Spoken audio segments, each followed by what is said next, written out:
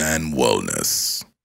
Hey guys, so one thing about substance use disorder, like for my case, alcoholism, for others it may be addiction to marijuana or khat, whichever drug, you name it, is that it changes your brain chemistry. And when you decide to go for treatment because your brain is sick, what happens is now you're trying to relearn or take back your brain to what it used to be prior to the addiction. You will find that at treatment now you start you you you you're enabled to sleep better without your substance. You're enabled to um, eat. You start teaching yourself to eat without using substance. And the good thing is that now you're able to apply other better habits as you're teaching your brain um, how to live without the substance. For example, reading books, exercising, you name it.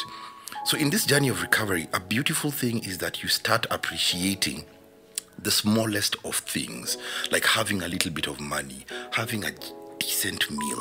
You're very grateful for this, and this slowly attracts the favor of God in your life. So, whatever it is you've gone through, whatever addiction you have battled, embrace recovery. Embrace recovery. It's a beautiful journey, and you will thank yourself later, like I am right now. For more of my story and tips on recovery or addiction, kindly visit my YouTube page at Daniel Orenge. Thank you. D Man Wellness.